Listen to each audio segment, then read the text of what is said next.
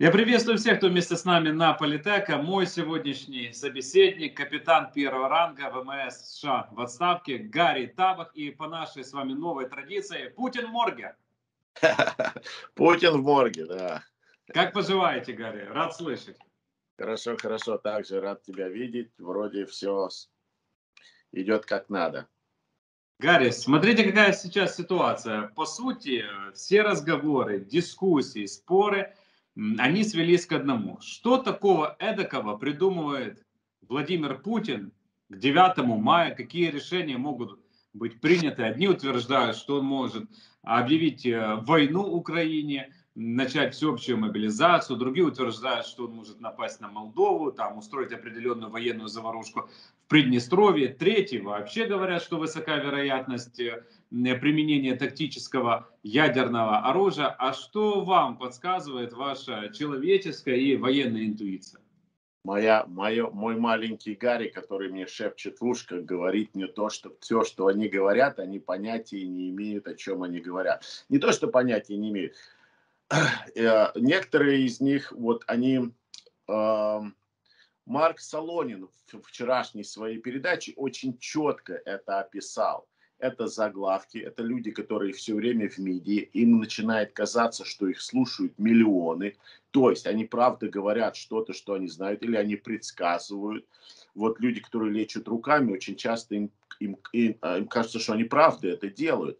Но э, не могут они знать. А, это все зависит от заглавка. Заговор в Кремле, а, организовывается переворот в Кремле, разоблачен агент Массада в Кремле, там, как, чем закончится война, когда будет использовано ядерное оружие, что произойдет. Чем ярче заглавие, да. Да, а я уже даже программу про это сделал, у меня в 10 раз было больше просмотров, когда я написал о заговоре, о Массаде и все в заглавие вставил люди, по, а, и они начинают говорить, и они начинают думать, послушай, такие вещи, Вадим, э, это все равно, что ты и я будем говорить, давай как делать э, операцию на мозг, или как поменять сердце от свиньи человеку, и какие нужны процедуры, все. Мы не знаем, мы не обучены, у нас нет никакого опыта этого. Это все догадки. Это все гадания, это все слухи, но они сенсационные, люди это слушают. Потом получается все до точности наоборот. Если даже якобы наша разведка, 17 наших разведок сказали, что Украина падет в течение 72 часов, ничего не надо делать. Оказывается, что это не наша разведка. Это господин Бернс, когда ездил наш глава ЦРУ, может быть, это и разведка, конечно. Ездил, встречался с Путиным, Путин ему сказал, в течение 72 часов мы возьмем Киев, сменим власть, бла-бла-бла-бла-бла, договорились, и все. Он приехал, доложил это Байдену, Байден это рассказал по телевизору. Вот наша разведка доложила. Вот как они это все оперируют. Это раз. Во-вторых, когда даже выступают люди, ну, возьмем моего уровня, да, там, допустим, даже какой-нибудь отставной полковник или даже генерал отставной, и они начинают рассказывать, как будут продолжаться действия, они не знают, у них нет этого уровня, они никогда не командовали армией или фронтом. Я, ну, может быть, могу что-то рассказать на уровне, ну, хорошо, ладно, дивизии, дивизии. Ну, я себя так поднял в звании. Дивизии. Ну, Но главное, выше, чтобы не диванных войск. Ну, выше, выше бригады я не тянул с чего решил по какой-то отставной полковник или майор, что он может фронтами рассказывать, как фронта будут двигаться, как будет Путин действовать. Да я не думаю, что и Путин знает, как он будет действовать. То, что я вижу, это все какая-то психическая атака. А, или майор КГБ, он знает, у него, кажется, есть связи в Вашингтоне, вот ему с Харькова позвонили, сказали, нужны джувелины. Он говорит, я звоню в Вашингтон, там они говорят, джувелины дали. Ну, в конце концов, он добился джувелинов. А, Анжелику Дж... Джоли он не может добиться, а джувелины он добился. Ну, неважно. То есть вы хотите сказать, что э, на уровне э, все происходит намного, намного примитивнее, чем мы можем себе представить. То есть на определенных Абсолютно. уровнях военных, политических, дипломатических. Во-первых, я считаю, что плана вообще никакого не было. План был э, неправильный. Они из Соединенных Штатов Америки, и с, э, с, с, Укра... э, с российской стороны, да даже и с украинской. Никто не ожидал, что так повернется. А в войне надо ожидать. есть у нас такое Murphy's Law, когда все должно идти правильно, а пошло не так. И ты должен рассчитывать на это. И вот пошло не так. А второго плана нет. Второго плана нет. И армия была сделана не для того, чтобы захватывать целую страну, а чтобы проводить парад. Вот армия к параду 9 мая под... готова, а войну не выиграла. Вот что делать. К этому мы были не подготовлены. Поэтому начинается Изюм, Харьков, Донбасс, а, Мариуполь, и они начинаются дергаться отовсюду. Киев, каждый день меняется план, но так невозможно, так невозможно воевать, так невозможно ничего спланировать, так невозможно ни, ни, ничто не захватить. Э, эти два-три села каждый раз, каждый день меняются. У российских у России и у Путина нет четкого плана. Они запутали себя. Они во вранье и в воровстве запутали себя. У украинцев четкий план. То есть они свято уверовали в свою вот эту пропаганду. Они сами ее придумали, они, сами они Очень часто среди политиков и дипломатов, вот я заметил, они сначала врут, журналисты, вы это все печатаете, раздуваете, делаете заглавки такие. Ох, люди читают, потом эти же военачальники, эти же политики, эти же дипломаты это читают и верят в свое вранье, которое они там еще рассказали до этого. Понимаешь, и, и что получается? Ну, в, в Украине понятно, в Украине очень четкий план. Изгнать эту мразь со своей территории, освободить территорию, сделать ее целостной и создавать э, государство. А у России плана нету. У них даже нету плана, что дальше делать. Точно так же это ошибка не только российская, это такая же ошибка, которую допускали и мы и в Афганистане, и в Ираке. Да, мы их захватили военным образом. Ну а что дальше делать? Да? А что дальше делать? А дальше мы, военные не знают, мы сделали свою работу. Мы их разбили, мы их захватили. А политики и дипломаты и все остальные начинают это что-то копошиться, а дальше плана нет.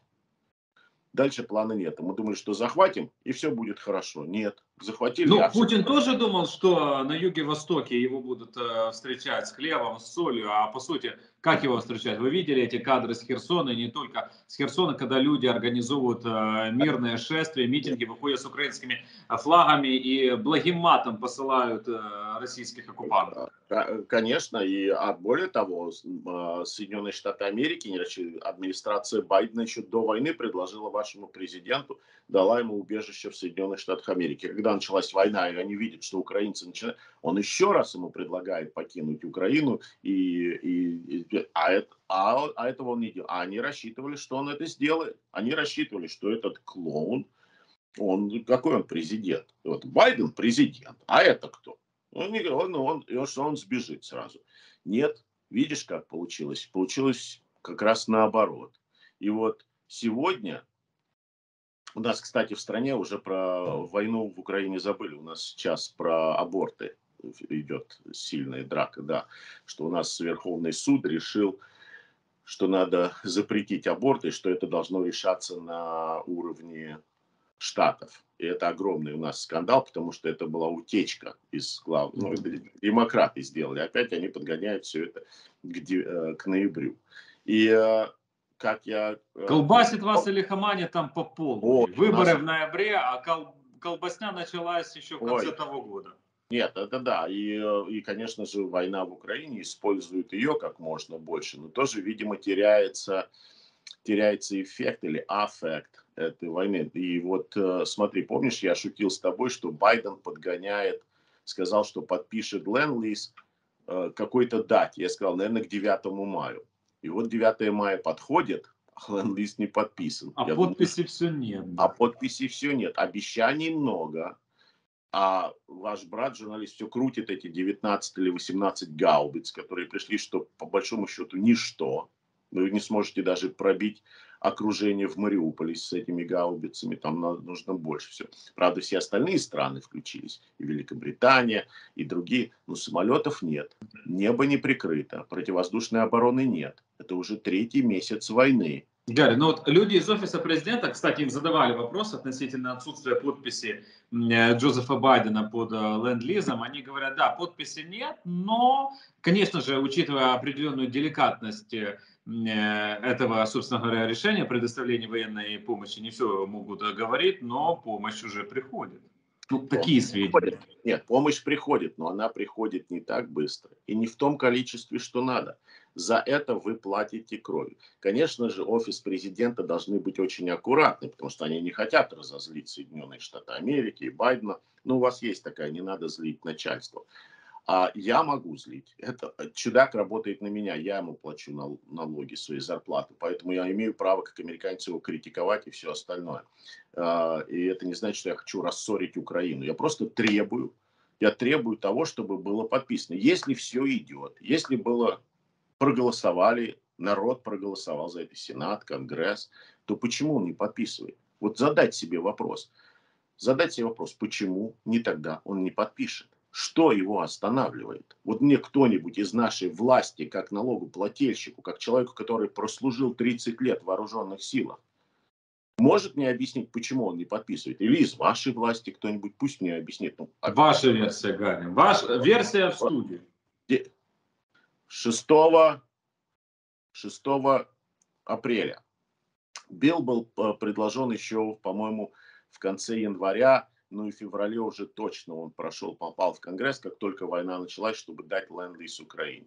В Сенате это оказалось где-то 6 апреля, 6 апреля Сенат единогласно проголосовал за это.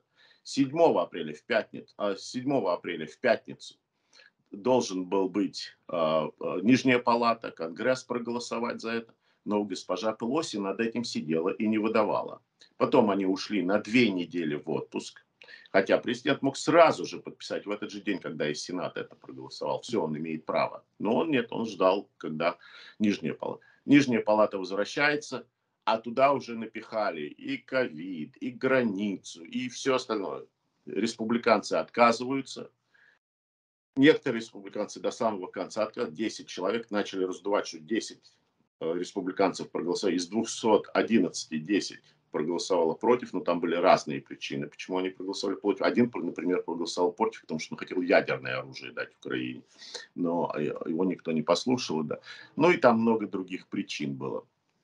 Одна из того, что они делят этот пирог, потому что будет э, индустрия производить много оружия, они хотят, чтобы у них в штате это делали, а это дали другому штату, и поэтому это никакого отношения к Украине не имеет, это политика. Короче, внутренние, разборки. Да, внутренние разборки. Но это и используется, что республиканцы плохие, а демократы вот хорошие. Хотя они тормозят это все. Но еще неделя проходит, это уже три недели, и вот уже неделю, ну, все равно голосуют, проходит этот, э, этот билл, проходит этот закон, но президент все равно неделю еще не подписывает, уже четвертый, уже месяц, а он не подписывает. У него есть еще, по-моему, 10 дней, чтобы не подписать или наложить вето на это. И э, потом у него 60 дней есть, чтобы организовать логистику и все остальное. Но я думаю, что многие уже занимаются этим. Они понимают, что рано или поздно ему это придется делать. Но каждый день Украина платит своей кровью за это. Вы теряете бойцов. Так поэтому, когда вы получите всю, все, все это, а у вас не будет бойцов, которые могут этим пользоваться, то это бессмысленно. Но я надеюсь, еще нужно обучить военнослужащих. Да, и это занимается время. Тоже время.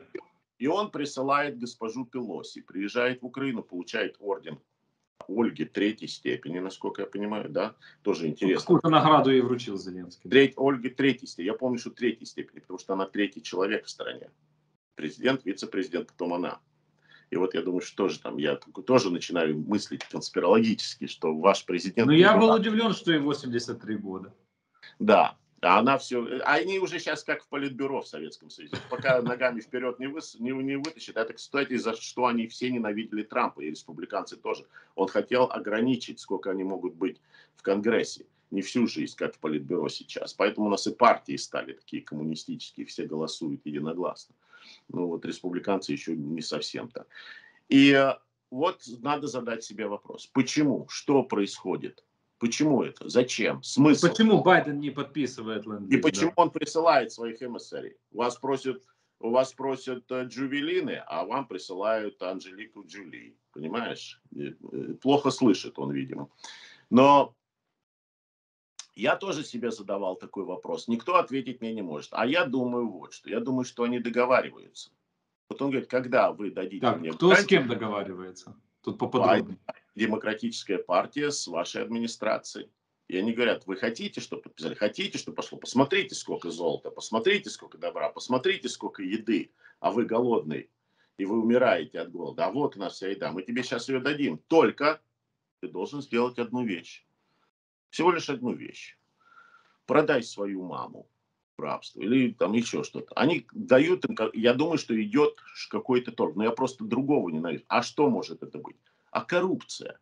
Коррупция, ну, что является за... предметом этого да. торга, если он имеет а место быть, конечно же. Сынишка Байдена, который орудовал в Украине, mm-hmm. он сам, коррупция, в которой вся демократическая партия, в их представлении, была замешана в Украине. И вот этого они боятся. Они уже поняли, что ваш президент, ваша администрация действует довольно-таки независимо. Ее поддерживает весь мир во главе с Борисом Джонсоном. Вы все пошло не по плану, Украина не пала, ее не отдали России, а Россия тогда бы все это замяла, всю эту коррупцию. Все это выходит, выпячивается наружу. Теперь им надо каким-то образом себя защитить. А как они могут себя защитить? Вот таким образом, поэт. А какая еще? Вот, а дайте мне другую причину, почему он не подписывает. Почему ленд-лиз еще не пошел. Месяц тому назад должен был пойти ленд-лиз Украине. За этот месяц погибло у вас дети, гражданское население, ваши лучшие бойцы, Мариуполь. Почему он? Какая причина? Какая причина? Я только, он же не дает никакой причины. Он не объясняет, они все молчат. Вот я единственное, что нашел, что они пытаются себя огородить от того, что ваш президент становится чрезвычайно чрезвычайно популярный, чрезвычайно независимая ваша администрация. Ну, Зеленский популярнее Байдена в Америке. Он популярнее любого президента в мире сегодня. Он в любой стране его сегодня выберут в президент.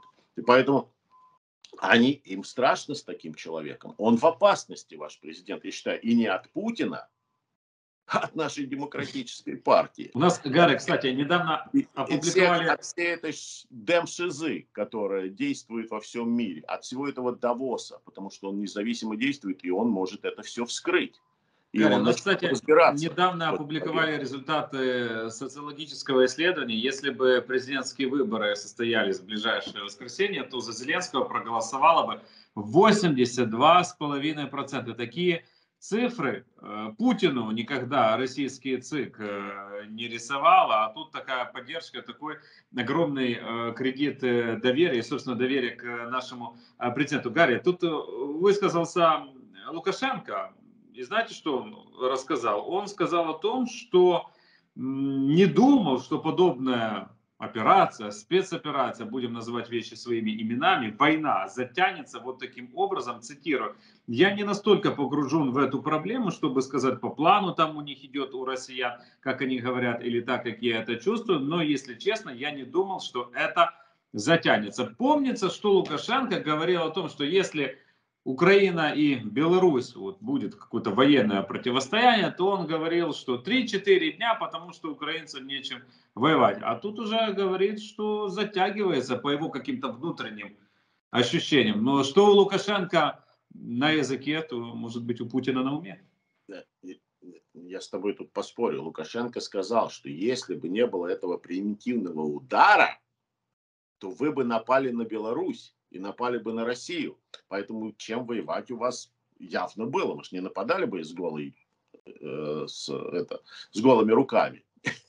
Ну, голыми руками наши люди танки останавливают. Да, но я имею в виду, я хотел сказать другую часть дела. Но, а, я, я, я нашел русское слово все-таки к этому. И поэтому Лукашенко, Лукашенко всегда молодец, батька. Он подстраивается туда-сюда, он, он всегда окажется на а, стороне победы, на стороне та, которая выигрывает. И, конечно же, он начинает крутиться. Но не так сильно он крутится, как э, великий дипломат, э, который дебил э, Лавров. Но все равно он выкручивается. Но, да, я хочу вернуться. Ты как что ты говорил о вашем президенте, что 83%. А я скажу, что он заслуживает это. Вот в моем понятии он заслуживает эти 83%. А эти дебилы, э, не заслуживают. Я говорю языком э, великого дипломата Лаврова, что они дебилы. Да, вспомнили мы Лаврова, но тут Кремль, знаете, вот чем ближе 9 мая, тем э, больше различных заявлений со стороны России. Вот устами Пескова Россия обвинила Запад в том, что он препятствует быстрому завершению военной кампании России в Украине, поставляя Киеву оружие и разведданные. Ну, клоуны какие-то. Ну, ну, конечно, а мы должны, я вот считаю, что мы должны дать ответ нет, наоборот, наоборот. Мы, э, мы э, ускориваем, ускориваем, ускориваем. Ускоряем. Ускоряем э, конец этой военной кампании, давая оружие Украине. И чем больше мы этого оружия, и чем оно более, будет более смертно несущее это оружие, и чем быстрее мы его дадим Украине, чем раньше эта война закончится. Это не мы ей препятствуем, мы помогаем эту войну закончить. А они вот как раз, Песков, Путин и Лукашенко, они препятствуют. Они препятствуют, потому что они препятствуют тем, что они еще не застрелились и не повесились, как, как Гитлер. Надо бы уже это им сделать. Таким образом, они ускорят окончание этой войны. Но они малодушные и не могут это сделать. Я бы эту обезьяну на них посадил. Вы знаете, тут э, сейчас э, обсуждают заявление, которое сделала пресс-секретарь Белого дома э, Джен Псаки, сказала, что, э, я процитирую дословно, важно отметить и не упускать из виду, э, что свою победу определяли для себя Э, россияне, как они ее видели, они уже проиграли по своему определению. Путин не проведет марши по улицам Киева, они не завладеют территориальной целостностью и суверенитетом этой страны, им не удалось разделить НАТО. А не рано ли администрация Байдена вот начинает говорить о поражении Российской Федерации, учитывая то, что ситуация на фронте, она сложная, и противник, он продолжает присутствовать, продолжает э, находиться на территории нашей страны? Нет, я не думаю, э, Вадим, я не думаю. Я думаю, что э, я бы даже больше сказал. Э, э, я думаю, что Украина в любом случае выйдет сильнее из этого конфликта, из этой войны. Э, просто какую цену она, опять же, заплатит за это, а это зависит от Запада. Когда мы по-настоящему включимся и по-настоящему не будем говорить о ленд-лисе, а по-настоящему его дадим. Когда в Украину придут самолеты, вот эти МИГи, что их останавливает? Или С-300, чтобы не было вот этого бомбардиров, бомбардировки городов крупных хотя бы, чтобы прикрыть небо. Когда вот это я увижу? И э, когда оно получится, то Украина все равно выиграет. Рано или поздно выиграет. Просто вот из-за цены стоит этот вопрос. Ну, вопрос, а сколько Россия, людей погибнет. Да, сколько, сколько, какой крови вы заплатите за это. А Россия уже проиграла. Она проиграла по-любому. Она никогда уже, понятно, не сможет никак, ни, никаким образом захватить Украину, никаким образом ее не оккупировать. И э, э, она проиграла. Сегодня в России, я думаю, и русскому человеку стоит вопрос не только не о захвате Украины или победы над Украиной, а, а чтобы не победить самих себя, чтобы Россия каким-то образом сохранилась. Что шансов на это я вижу очень мало не может Россия сегодня сохраниться в том виде, в котором она была. Весь мир ей уже этого не позволит и не даст сделать.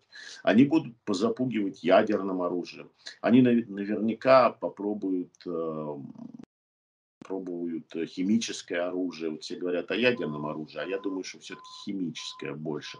Поэтому украинцам сегодня нужно тоже по ленд-лису моментально сейчас дать а, противогазы всему населению, как в Израиле, чтобы у всего населения, у каждого человека было по два противогаза и в каждой комнате, чтобы дать антидоты, чтобы антидотов было у каждого у украинца в кармане был антидот от химического оружия.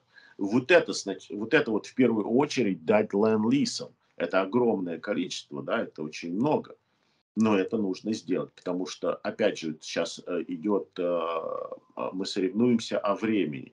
А люди, которые говорят, что я знаю, как они употребляют то, или я знаю, что будет то, они не знают, у них нет ни знаний, ни должностей, которые должны, не допуска к такой секретности. Это делается все ради сенсации, ради просмотров, ради лайков.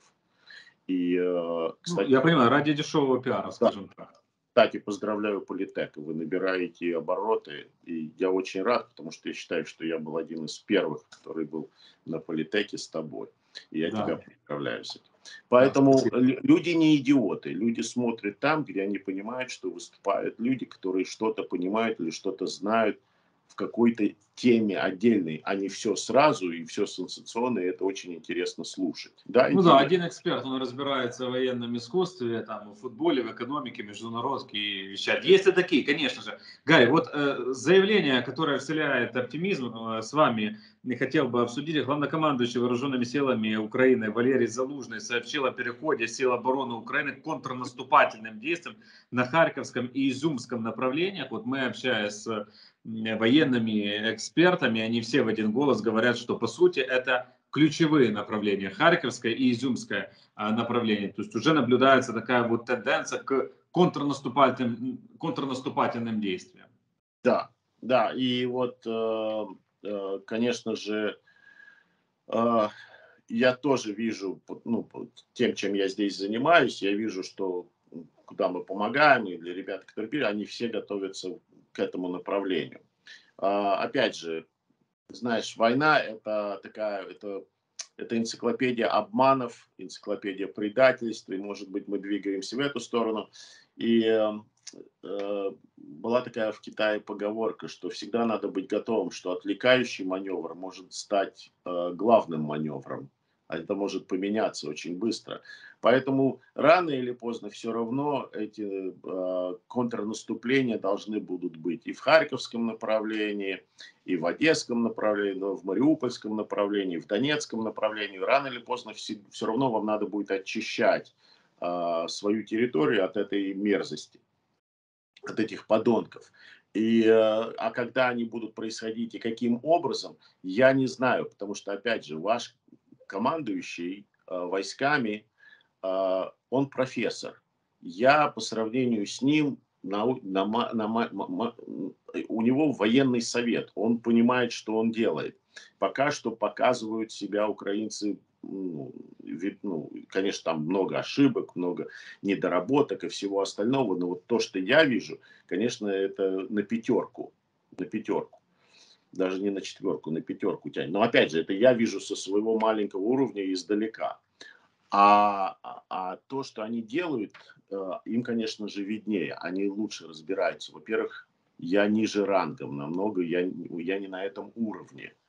И э, надеюсь, что они действуют правильно, они прорабатывают приоритеты, куда сначала наступать, потом куда, где имеет что большую важность а не так, как ведут себя российские э, военачальники, кидаясь с одной стороны в другую, переводя оттуда, уходя отсюда, наступая сюда в 82 раз, э, нападая на одно и то же, или высаживая десант в одном и том же месте, где вы только что погибли. Но это это, э, это так, ведя себя как террористы, вот куда попадет, куда Хамас. Вот сейчас Хамас приехал в Россию, опять же, я думаю, они обмениваются опытом. Хамас их учит, как просто стрелять куда попало.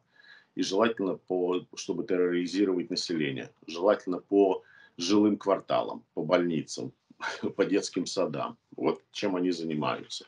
Это совершенно другой уровень э, ведения боевых действий. Поэтому пока что ваши военачальники действуют правильно. В той ситуации, в которой она находится, с теми инструментами, которые у них есть, ну, с моей точки зрения, это пятерка. максимально используют тот ресурс, который есть в наличии. Но опять же, я хочу, опять же, я хочу подчеркнуть то, что у меня нет допуска к такой информации, и у меня нет ни образования, ни знаний на таком уровне. Я могу командовать, опять же, если, да, там, ну, может быть, я на дивизии, уровне дивизии могу соображать что-то. Но дальше ты должен понимать свои ограничения. Ты должен понимать, что да, аппендицит я могу вырезать, а вот пересадку сердца я уже не могу сделать. Человек должен осознавать. А те люди, которые вчера были экспорты по ковиду, а сегодня они экспорты по войне в Украине, но это они моментально. Да, это несерьезно. Я с вами тут согласен, Гарри. А вот э, относительно якобы присутствия начальника генштаба э, вооруженных сил России э, Герасимова где-то там под Изюмом, э, американская пресса об этом активно писала, утверждала, ссылаясь на данные разведки, и также утверждала, что он якобы был также ранен. Ну хорошо, представим, что Герасимова туда отправили. Целый начальник целого генерального штаба находятся в горячей точке. О чем это может свидетельствовать? Это может свидетельствовать абсолютной деморализации, непрофессионализме и э, э, политизирования боевых действий, где, э, где убла, ублажать э, старшова намного важнее, чем сохранить жизни солдат. Э, такое бывает на войне. Но опять же, это не, пер, это не, это не стоило ожидать. Потому что в первые дни войны, в первые недели войны погибло чуть ли там 8-7 генералов российских и э, э, высоких чинов, полковники, капитаны первого ранга, погибли командиры, э, командиры бригад, погибли командиры э, вот этих батальонных групп погибли, оперативных тактических, то есть, прошу прощения, а, они погибли. Почему они погибли? Потому что а, это развал в армии, команда, а, что называется command and control, то есть командование контролирование боевых действий, которыми они должны управлять. А майоры и подполковники или не умеют, или не хотят, или они получают конфликтные приказы, и они не знают, какой выполнять. Этот приказ пришел оттуда, этот приказ пришел отсюда, они начинают ругаться, спорить друг с другом, что делать, и пока что вы их накрываете, пока они там медлят это все. Поэтому выходит генерал и начинает выполнять работу подполковника и майора, орать на солдат и сержантов. Ну и, конечно же, ваши снайпера, артиллеристы, они видят, что лысенький, толстенький, э, с пунцовым мордой вышел и орет что-то и машет руками, конечно же, они его снимают. Поэтому сразу было видно, что это развал в структуре, в единстве и, и, и боевом порядке. Поэтому приезжает большой начальник и начинает брать командование на себя. Ну и вот я думаю, э, поэтому Герасимов прибыл и начал э, брать командование на себя, орать, кричать э, и говорить, что, не, что к 9 мая вы что, товарищу Сталину подарите. Подарок где? Нету, я вас всех тут расстреляю, контру. И они начинают выбегать, шметь. Ну да. А тут да, еще и Лукашенко так... с этими заявлениями о том, что так называемая спецоперация, она по его ощущениям затянулась. И тут начинается, тут начинается вот эта возня, да, возня, а ваши ребята смотрят, наши ребята смотрят, британские ребята смотрят и говорят, слушайте, вот там очень много возни, и что-то там очень близко, погоны блестящие такие очень много. Давайте шугар туда. Ну и, конечно же, вы посылаете туда снаряды и обстрел. А, уверен, что если бы вы не стреляли своими уже разбитыми пушками, в, в смысле, что уже там стволы стерты, а были бы эти гаубицы, были бы эти снаряды, было бы это наведение, были бы эти прицелы, которые вам так долго обещают, то вы бы попали в, само, в, в этот блестящий погон, как снайперы. Гарри, а вот давайте с вами еще поговорим о том, что происходит непосредственно а, на территории Российской Федерации. Скажем так, условное кодовое слово. Хлопок или хлопки? Вот эти пожары, вот эти взрывы, Белгород, Брянск, там ранее писали, что в Курске что-то начинается, что-то где-то затевается. Что это? И я не знаю, что это, но я знаю, что это нехорошо для России и очень хорошо для нас. Uh, уверен, что это, что это комбинация многих вещей это комбинация в первую очередь, опять же, что бы ты это не было, это заслуга Украины. Это делается, потому что Украина себя ведет, потому что Украина видит, даже там видит, что Украина победители. Белорусы видят, что Украина победители. Мир видит, что Украина победители. Все хотят быть с победителем. Когда мы драпанули из Афганистана, Талибан был победителем, все террористы мира захотели быть с ними. Все хотят быть с победителем. Я хочу быть с победителем. Поэтому это всегда победа. Ну как это происходит и почему это происходит? Конечно же, я думаю, что там участвуют ваши спецслужбы. Они показывают себя пока что, я не знаю, не хуже израильтянских. Там топи, потоплению кораблей, по, по взятию Медведчука и так далее, и так далее. Все вы это прекрасно знаете. Это не без спецслужб ваших, не без разведки, не без какого, какой-то группы людей, которые работают днем и ночью. И опять же, чем дальше это все идет, тем больше они устают. Эти люди работают без сна, без, без, без семьи, без всего. И, конечно же, это тоже стирается. Поэтому время очень важно. И дать людям таким передохнуть, чтобы они придумали еще какие-то новые вещи. Но я думаю, что там участвуют и граждане, и российские граждане, которые не хотят идти на войну которые... Партизане, партизане. Партизане, да, которые, или, или которые просто не хотят идти на войну. Поэтому они забрасывают военкоматы коктейлями Молотова. Они солдаты, которые не хотят возвращаться на войну или не хотят идти, которых новобранцы там взяли или контрактники, то они ломают свою технику, они поджигают, они портят ее. Это происходило во всех армиях. А, когда начинается развал, опять же, вот этого командования и контроля над армией, как над боевой ячейки. Это развал дисциплины. Поэтому, конечно же, это происходит. Я уверен, что мы видели, как они а, атакуют, стреляют или давят танками своих командиров, потому что они понимают, что они бездарные и ведут их в пекло, и они сейчас просто погибнут ни за что просто так. Поэтому это видно, что эта армия не боеспособна. Она не боеспособна. Ну, и, конечно же, мы видим, что и поезда идут под откос. Все это не случайности. Один раз может быть случайность, но такая серия этих вещей. Это, не это уже закономерность. Это закономерность, и в конце концов это примет организованную форму. Как в конце концов партизанская война в Советском Союзе приняла организованную форму, и они стали координировать между собой все это. И террористы то же самое. Террористы во всем мире, они координируют свои действия между между собой. А это у них становится. Я думаю, что это тоже превратится в, в такую войну против России, которая будет скоординирована. Но опять же, это заслуга исключительно Украины и ваше, э, вашего командования, э, ваших властей. Так что э, я вас с этим, с этим поздравляю. Но это происходит часто, когда они начинают ломать сами свою технику. Ну, там еще Крымский мост есть. И не ну, только Крымский мост, другие логистические объекты, которые Но опять нуждаются. это, это, понимаешь, Вадим, это мы с тобой так думаем. Давайте бабахнем Крымском, потому что это будет красиво, это будет ого-го как.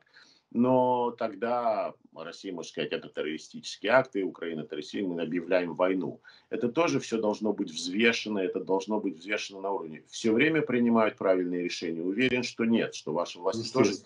Но пока что они принимают они на правильной стороне. И я не знаю, может быть, надо бахнуть этот Крымский мост. Я бы бахнул. Было бы красиво, но опять же, я на своем уровне бы его бахнул. Ну, секретарь Совета национальной безопасности и обороны Украины Алексей Данилов говорил о том, что вооруженные силы Украины, если будут иметь возможность нанести удар по Крымскому мосту, то такой удар будет нанесен. И представитель э, оборонного ведомства Великобритании говорил, что это суверенное легитимное право Украины наносить э, удары по а, логистическим э, центрам, объектам, которые находятся на территории Украины. То же самое говорил и Антони. Вадим, я согласен. Это нам легко с вами рассуждать. А... Вадим, я согласен с этим абсолютно верно. Но опять же, я хочу подчеркнуть то, то, что говорят они, это не совсем то, что они думают или то, что, что нужно сделать. Там очень... Война – это энциклопедия обманов, зеркал, э, дыма, а, тумана, это всегда, что ты думаешь, что, о, подожди, он сказал, ну, Байден тоже много чего говорит, но пока что мы имеем ноль со всего, что он сказал. Но э, будем надеяться, что все-таки, э, да, все-таки это получится все так, как мы хотим. Самое главное это победа, и самое главное, как можно меньше потерь с украинской стороны потому что таких бойцов, которые у вас, вот опытных, которые погибают каждый день, их, конечно же, заменить очень э, сложно и долго и трудно, и они очень ценные. Я знаю, что нельзя цену на человеческую жизнь ставить, но, конечно же, они ценны. Они ценны э, для Украины. Поэтому чем быстрее выиграет, чем быстрее они получат инструменты, с которым они смогут раздавить эту мразь, тем лучше это будет. Опять же, мы с тобой говорили о том, какие они придурки, уроды и небоеспособные, но я хочу подчеркнуть, что никогда нельзя недооценивать своего врага. Никогда. У них все равно есть и спецназ ГРУ, и вагнеровцы, и те, которые устреляют и убивают ваших воинов. Вот их надо уничтожить. Для этого нужны инструменты. Гарри, огромное спасибо вам за этот разговор и за эту беседу. Гарри Тавах, капитан первого ранга ВМС США в отставке, был сегодня вместе с нами на Политак, а также говорю спасибо всем нашим зрителям и слушателям. Слава Украине! До новых встреч! Героям слава! Всего доброго!